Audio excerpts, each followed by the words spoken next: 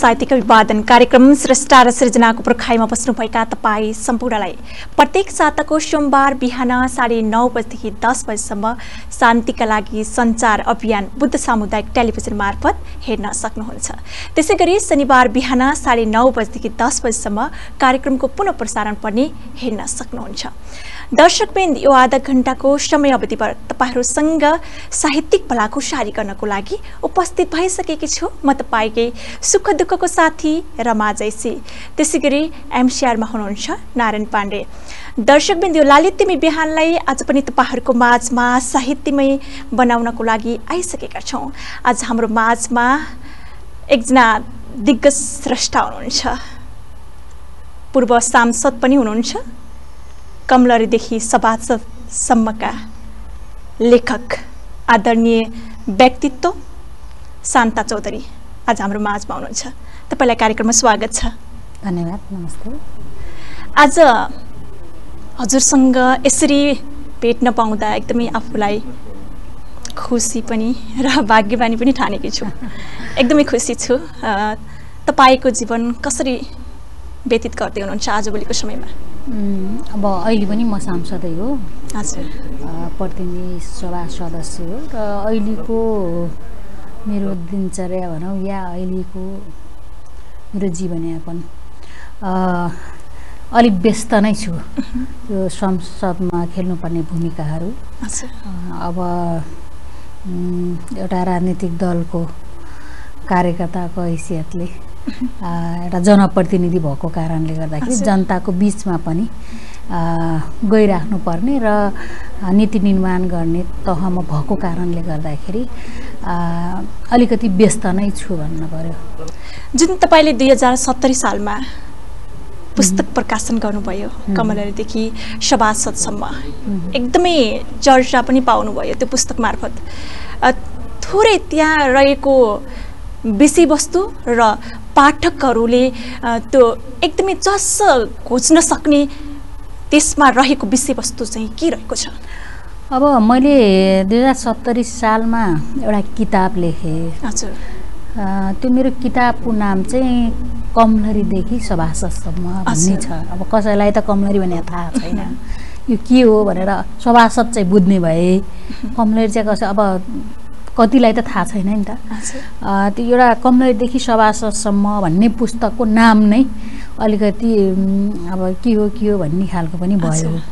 र मेरा त्यहाँ भएका मैले लेखेका कि मैले लेखेको किताबमा चाहिँ खास गरी यो गरिबी गरिबीमा गरिब हुँदा मान्छेले गरिब हुँदा मान्छे कसरी बाँच्दो रहेछ?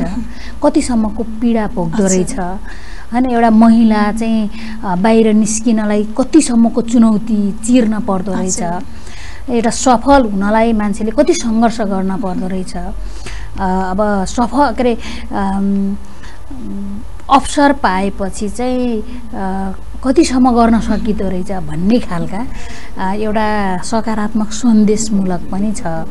अर्कोतिर अब कमलरी प्रथाको अ, अलिक बढी नै अब नामै कमलरीदेखि सभासदसम्म भने भए हुनाले चाहिँ कमलरी प्रथालाई चाहिँ अलिक बढी नै कमलरी भनेको के कमलरीहरूले गर्नुपर्ने के र कमलरी प्रथा भनेको चाहिँ के भनेर चाहिँ त्यसमा स्पष्ट छ।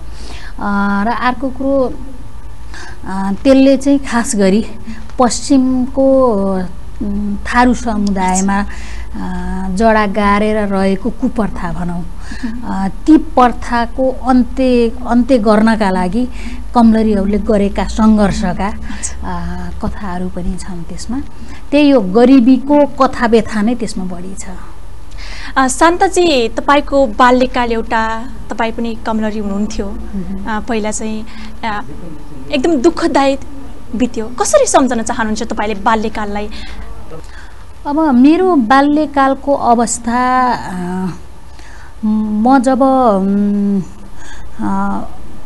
बालक थिएँ अबोध निर्दोष बालक। जति बेला त्यो मेरो बाल्यकालको बा बालापन थियो त्यो बालापनको अनुभवै गर्न पाएन। बाल बाल अधिकार। त्यो बाल अधिकारको त कुरै नगरौँ। मेरो बालापा मेरो बालापन मैले महसुस गर्न नपाएको कारणले गर्दाखेरि म सानै उमेरमा असाध्यै सानो आठ वर्षकै उमेरमा जमिनदारको घरमा कमलरी बस्न गएको कारणले गर्दाखेरि त्यो बालापनको मलाई त खासै त्यो यादै आउँदैन कि किनकि बाल्यकालदेखि नै सङ्घर्षमय रह्यो मेरो जीवन। त्यस कारणले मेरो बा बाउआमासँग सँगै बस्ने रहर बाउआमाको हात समातेर हिँड्ने रहर किताबको ब्याग भिरेर स्कुल जाने रहर साथीहरूसँग खेल्ने रहर रुन मन लागेको बेला रुन पाउने रहर सबै कुराहरू मैले यी यी सबै कुराबाट भनौँ न यी सबै कुराबाट वञ्चित भएँ।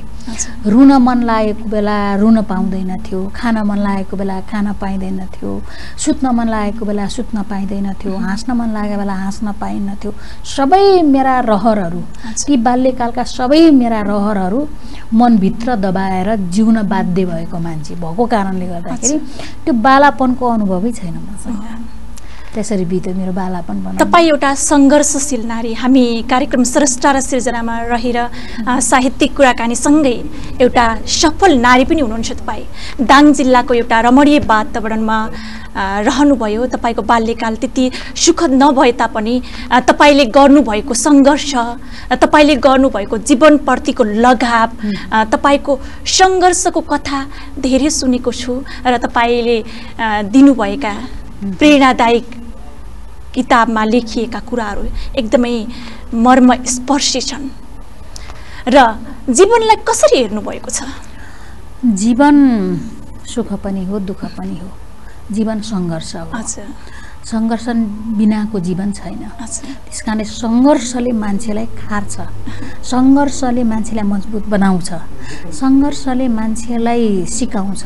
सङ्घर्ष नभएको जीवन अथवा पीडा नभएको जीवन त्यो दुःख नपाएको जीवन के जीवन? हरेक चिजको अनुभव गरोस् न उसले जीवनको अनुभूति गर्न पाउँछ। त्यस कारणले मैले त हरेक खालका पीडाहरू सङ्घर्षसँग लड्दै सङ्घर्षसँग पौठी जोडी खेल्दै ती काँडै काँडा भएका बाटाहरूलाई चिर्दै आज यो ठाउँमा आउन सफल भएको छु। त्यस कारणले त्यो जी मेरो जुन जीवन जिउने शैली छ बडा दुःख बडा सङ्घर्षमय जीवन भएको कारणले गर्दाखेरि जीवन भनेको चाहिँ तपाईँको उकाली ओह्राली भनौँ होइन सुख दुःख सङ्घर्ष यी सबैले भरिपूर्ण भएको जीवन चाहिँ यथार्थ रूपमा जीवन हो। एउटा कठिन पहाड चढ्न जसरी गाह्रो हुन्छ नेपाली समाज अझै पनि नारीप्रति नारीलाई हेर्ने दृष्टिकोण त्यसैमध्ये तपाईँ एउटा थारू समय समुदायमा हुर्किनुभयो र कमलरी बन्नुभयो। जुन नारीहरू अहिले पनि त्यति खुलियाम घटनाहरू त बाहिर आएको छैन। पहिलाको तुलनामा बाहिर आएका छन् यस्तो भयो भनेर सुन्न पाइन्छन्। तर अझै पनि धेरै नारीहरू विभिन्न ठाउँमा वञ्चित भएको अवस्था पनि छ। त्यसलाई चाहिँ कसरी हेर्नुभएको छ? तपाईँ एउटा सांसद पनि हो। जस्तो अब पु- विगतको दिन र अहिलेको दिनलाई तुलना गर्ने हो भने तुलनात्मक हिसाबमा। अब विगतको दिनभन्दा अहिले धेरै चेतनाको विकास माथि आएको छ। त्यस कारणले गर्दाखेरि तपाईँको सामाजिक सञ्जाल भनौँ सञ्चार माध्यमहरू। सबैका घर आँगनमा पुगेको छ। यस अर्थमा मान्छेलाई एउटा चेतनाको यो राजनीतिक परिवर्तन सँगसँगै जनतामा पनि परिवर्तन आएको छ। अब यो परिवर्तनलाई कसरी हेर्ने भन्ने कुरा हुन्छ क्या? अब हिजोको दिनभन्दा जस्तो महिलामाथि अहिले त यो महिलामाथि हुने हिंसा विरुद्धको सोह्र दिने अभियान पनि चलिरहेको छ यो। बिचमा अब महिलालाई आफैमा पनि कस्तो छ भने समाजबाट निस्किन गाह्रो छ। समाजबाट निस्किसकेपछि तपाईँको घरबाट निस्किन गाह्रो छ। अनि सबभन्दा पहिला त घरबाट निस्किन गाह्रो। त्यसपछि समाजबाट बाहिर निस्किन गाह्रो। त्यसपछि हामी जहाँ पुगेका छौँ त्यो ठाउँमा स्थापित हुन गाह्रो। होइन यो पितृसत्तात्मक सोच र चिन्तनले जडा गाडेको देशमा महिलाहरूलाई त्यति सहज छैन। तर सहज नहुँदा नहुँदै पनि महिलाहरू अहिले यो देशका राष्ट्रपति छौँ होइन? यो त अत्यन्त उपलब्धिमूलक कुरा हो। त्यस कारणले अब विगतको दिनभन्दा तुलनात्मक हिसाबमा महिलामाथि हुना हुने हिंसा जतिसुकै बाहिर धेरै आयो भने तापनि विगतको भन्दा फेरि कमै नै छ। किनकि विगतमा बाहिर ल्याउन सकिँदैन थियो। लुकाइन्थ्यो। अँ लुकाइन्थ्यो।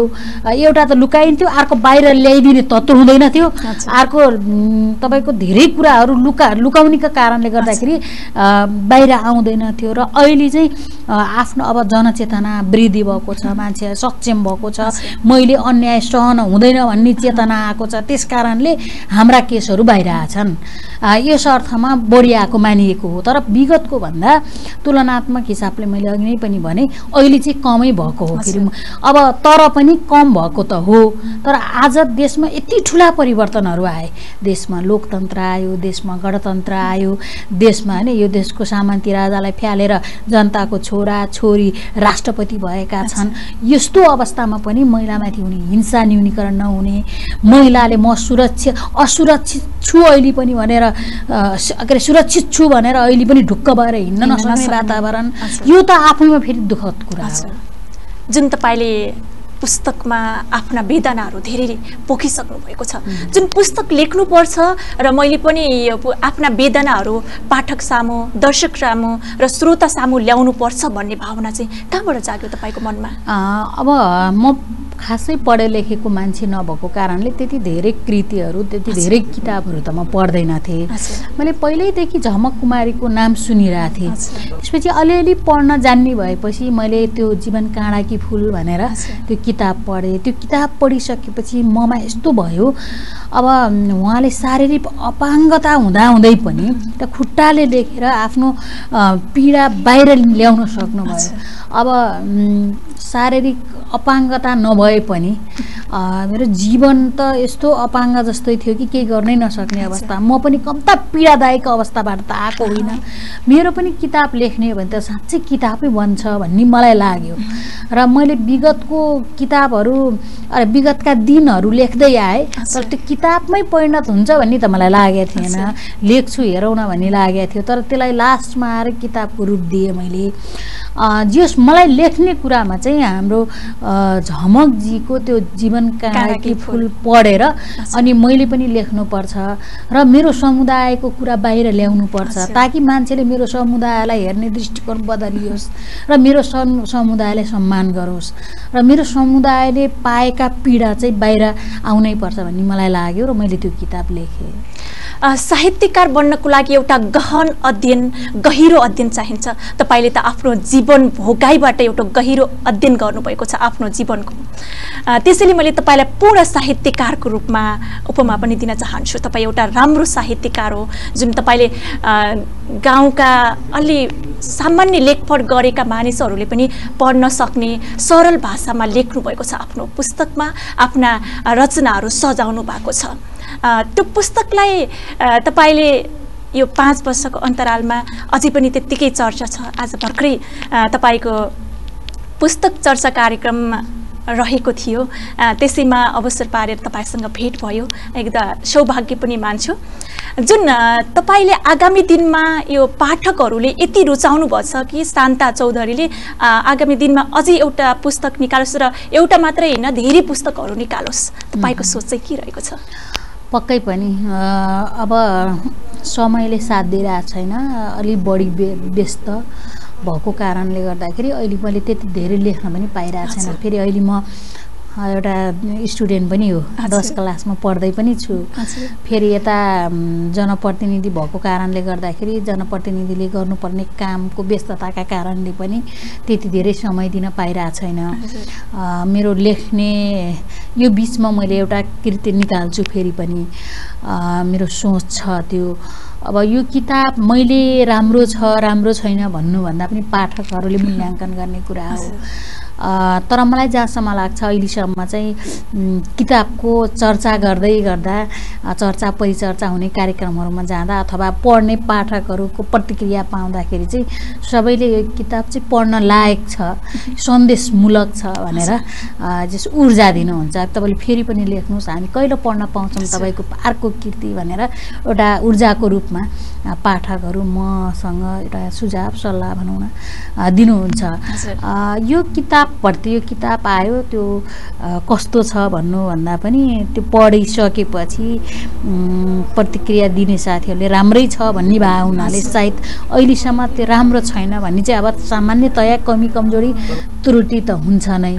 तर त्यो समग्र त्यो पढ्ने पाठकहरूको प्रतिक्रिया आउँदाखेरि चाहिँ सबैले राम्रो मानिदिएको कारणले मलाई पनि एक खालको हौसला बढेको छ। तर मलाई चाहिँ यो राम्रो भन्दा पनि यो चाहिँ त्रुटि छ है भनिदिनु भयो भने मैले सचाउने मौका पाउँथेँ तर धेरै। जसोले चाहिँ एकदमै राम्रो छ भन्नुहुन्छ तर त्रुटि देखाइदिनुहुन्न त्यसो हुँदा चाहिँ फेरि अर्को चोटिलाई कमी कमजोरी गर्छु कि जस्तो तपाईँलाई। हौसला होला नि। त्यो पनि होला। हजुर जुन तपाईँले पुस्तकप्रति निकै राम्रो र अरूको पनि राम्रो चर्चा परिचर्चा रहेको छ। जुन काठमाडौँमा रहेर विभिन्न साहित्यिक संस्थाहरू पनि रहेका छन् अनि त्यहाँ विभिन्न कार्यक्रमहरू पनि हुने गर्दछन् तपाईँको रचना त्यहाँ जान्छ कि नै? तपाईँ त्यहाँ कहिले कसो साहित्य- सहभागिता हुन्छ। जनाउनुहुन्छ मैले यो किताब लेखिसकेपछि एउटा इन्टरनेसनल पुरस्कार पनि पाएको छु। बागमय प्रतिष्ठानले मलाई एउटा अवार्ड दिएको थियो। र। सामान्यतया त यो यस्तो कार्यक्रमहरूमा विभिन्न किताबको विमोचनहरूमा साहित्य प्रोग्राममा म त्यति धेरै त जाँदैन। तर कहिलेकाहीँ चाहिँ जान्छु जस्तो। कहिलेकाहीँ चाहिँ अब भनौँ अस्ति एक एक फेरा चाहिँ मलाई यो संस्कृत विश्वविद्यालयमा पनि त्यो प्रेजेन्टेसनको लागि बोलाउनु भएको थियो। सी जो सामान्यतया कार्यक्रम यस्तो कार्यक्रमहरूमा जाने गर्छु तर त्यति धेरै समयको कारणले गर्दाखेरि फुर्सद नभएको कारणले गर्दाखेरि त्यति धेरै उपस्थिति हुन त पाउँदैन। तर समय भएको बेला चाहिँ मलाई बोलाउनु भएको छ भने चाहिँ म पुगेको हुन्छु। शान्ताजी यो साहित्य भनेर कसरी बुझ्नुहुन्छ साहित्यलाई कसरी बुझ्नु भएको छ तपाईँको दृष्टिकोणबाट?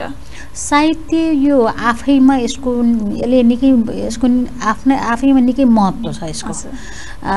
साहित्यकार बन्न सजिलो छैन। साहित्यकार बन्नलाई बडा अध्ययन चाहिन्छ।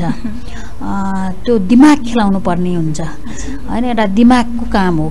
त्यस कारणले अध्ययन र दिमाग चलाउन सक्ने मान्छेले मात्रै साहित्य ए, तिर रुचि राख्छ। त्यस कारणले साहित्य आफैमा देशका निम्ति पनि एउटा ठुलो सम्पत्ति बन्न पुग्छ यसलाई यसले राम्रो र गर्ने हो भने अब साहित्यकारहरूलाई हेर्ने नजर साहित्यकारहरूलाई हेर्ने राज्यको त्यो दृष्टिकोण अहिले पनि कमै छ भन्ने मलाई लाग्छ। साहित्यकारहरूलाई हामीले संरक्षण गर्न सकिरहेको छैनौँ। त्यस कारणले साहित्य भनेको चाहिँ जीवनसँग एउटा जीवन जिउने कलासँग भनौँ साहित्यलाई अब कसरी बुझ्ने? यो साहित्य यसै प्रसङ्गमा तपाईँसँग जोड्न चाहे तपाईँ सांसद पनि हुनुहुन्छ। जुन साहित्यकारलाई संरक्षण गर्नुपर्छ सम्वर्धन गर्नुपर्छ भन्नुभयो र विभिन्न ठाउँमा साहित्यिक संस्थाहरू पनि खोलिएका छन्। र त्यो दृष्टिकोणमा हाम्रो सरकारले चाहिँ यो दूर दराजमा रहेका साहित्यकार जुन लुकेर रहेका छन् विभिन्न प्रतिभाहरू तिनीहरूलाई संरक्षण सम्वर्धन गर्नको लागि केही प्रयास गरेको छ या छैन? अब केही पनि गरेको छैन त भन्न मिल्दैन। तपाईँले भने जस्तो हाम्रो लुकेर रहेका प्रतिभाहरू हजुर। लाई बाहिर ल्याउने काम चाहिँ अझै गर्न सकिएको छैन। जस्तो कतिपय सन् यो सामाजिक सञ्जाल मार्फत जस्तो हाम्रो कलाकारकै कुरा गायककारकै कुरा गरौँ न अशोक दर्जी। हजुर आखिर लुकेर बसेको कला हो नि त गला हो नि त त्यो। त्यस्तो थुप्रा बालबालिकामा रहेका ती प्रतिभाहरू अहिले पनि लुकेर बसेका छन्। त्यस्तै अहिले पनि थुप्रो महिलाहरू यति मिठो गाउनुहुन्छ यति राम्रो नाच्नुहुन्छ होइन यति राम्रो बोल्नुहुन्छ त्यो बोलीमा मिठासपन भन्ने हुन्छ नि। त्यस्ता चिजहरू लुकेर बसेका छन् अहिले पनि स्कुलतिर गयो भने साना साना बालबालिकाहरू क्याम्पसतिर गयो भने युवाहरू साहित्यमा लागेको देख्छु। कति राम्रा कविता वाचन गर्नुहुन्छ। कि आफ्नो कविताबाट भाव व्यक्त गर्नुहुन्छ। के? अनि कहिले देशका देशका कुरा गर्नुहुन्छ कविताबाट कहिले म के अरे चेलीबेटीका कुरा गर्नुहुन्छ कहिले के का कुरा गर्नुहुन्छ त्यो भाव छ नि। ती लुकेर बसेका प्रतिभाहरूलाई बाहिर ल्याउनका निम्ति राज्यले अब विशेष प्याकेज बनाएर जान चाहिँ सकेको छैन। यसलाई चाहिँ जस आइसकेका जति आइसकेका छन् बाहिर निस्केका ती प्रतिभाहरूलाई चाहिँ फेरि संरक्षण गर्ने कुरामा पनि अब अहिलेको सरकारले मात्रै भन्दा पनि यो त जसको सुकै सरकार भए पनि सबैले। सबैले यो भाषा साहित्य यी यी चिजहरूलाई चाहिँ संरक्षण गर्ने कुरामा कन्जुसाइ गर्नु हजुर। हुँदैन आ, शान्ताजी हामी कार्यक्रमको अन्त्य अन्त्यमा आइसकेका छौँ कार्यक्रमको अन्त्यमा टेलिभिजन हेरेर बस्नुहुने समस्त साहित्यिक मनलाई के भन्न चाहनुहुन्छ यो टेलिभिजन हेरेर बस्नुहुने सम्पूर्ण श्रोताहरूलाई चाहिँ साहित्य आफैमा निकै महत्त्वपूर्ण चिज हो। साहित्यप्रति रुचि जगाउनुपर्छ हामीले साहित्यको साहित्यलाई फलो गर्नुपर्छ। कि साहित्यबाट धेरै कुराहरू सिक्न सकिन्छ धेरै कुराहरू बुझ्न सकिन्छ र हामीसँग म यदि सकिन्छ भने uh, एक महिनामा एउटा किताब पढ्ने बानी लगायौँ भने हामीले एउटा किताबबाट थुप्रो हामीलाई काम लाग्ने शब्दहरू भेटाउँछौँ। त्यस कारणले त्यो अध्ययनलाई अब साहित्य भनेकै पढे लेखेकाहरूले गर्ने काम भएको। कारणले गर्दाखेरि एउटा साहित्यकारलाई चाहिँ त्यो किताब पढ्नलाई कुनै समस्या हुन्छ जस्तो मलाई लाग्दैन त्यो नसा जस्तो हामीलाई राजनीति गरे मान्छेलाई नसा जस्तै त्यो किताब पढ्ने नसा बसिसकेका हुन्छ त्यस। कारणले प्रत्येक किताबहरू नयाँ कृतिहरू पढ्यौँ भने हामीले नयाँ शब्दहरू पाउँछौँ नयाँ कुराहरू पाउँछौँ जो कि ती शब्दहरू ती किताबमा भएका अध्ययनहरू हामीलाई काम लाग्न हुनसक्छ। आफ्नो व्यस्त समयको बावजुद पनि हामीलाई समय उपलब्ध गराइदिनु भएकोमा आदरणीय व्यक्तित्व तथा साहित्यकार शान्ता चौधरीज्यूलाई विशेष आभारका शब्दहरू प्रकट गर्न चाहन्छु। त्यसै गरी यतिन्जेलसम्म टेलिभिजन हेरेर साथ दिनुभयो। त्यसका लागि तपाईँ सम्पूर्णलाई विशेष आभारका शब्दहरू प्रकट गर्दै म तपाईँकै सुख दुःखको साथी रमा जयसी पनि बिदा हुन चाहन्छु। हवस् त नमस्कार तपाईँको दिन शुभ रहोस्।